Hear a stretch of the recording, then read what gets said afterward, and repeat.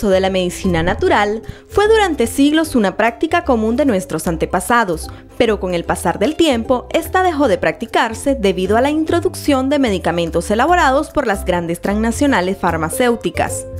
No obstante, en los últimos años la política gubernamental de salud pública ha insistido en la necesidad de volver a esta ciencia ancestral para lograr condiciones de vida familiares mucho más saludables.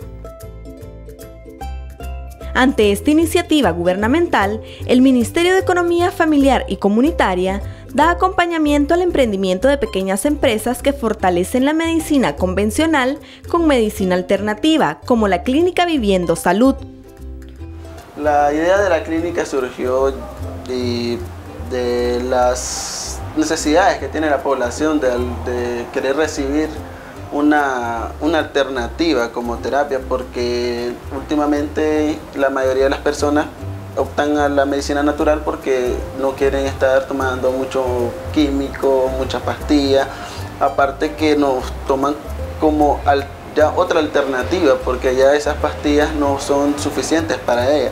Y aquí eh, brindamos diferentes servicios para que ellos tengan una vida mejor y saludable. Practicaré lo que es la acupuntura. La acupuntura es una técnica o una práctica de la medicina tradicional china y japonesa que consiste en la inserción de agujas en determinado punto específico del cuerpo que tienen como fin este, curar una dolencia o dicha enfermedad.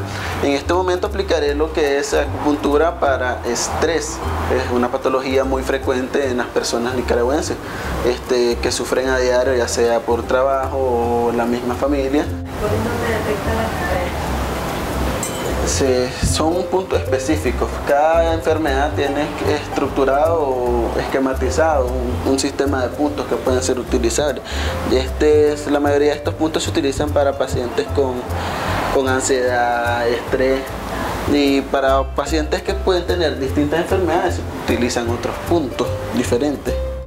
La medicina complementaria es una alternativa medicinal mucho más barata y sin efectos secundarios. Esta técnica, como es la acupuntura, es una terapia milenaria originaria de China, que consiste en la aplicación de agujas en puntos específicos para aliviar diversas enfermedades físicas o emocionales. Eh, se puede utilizar para adolescentes y, adultos.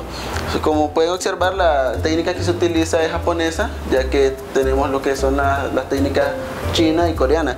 Y esta es, como pueden observar, es la menos indolora. No causa mucho dolor.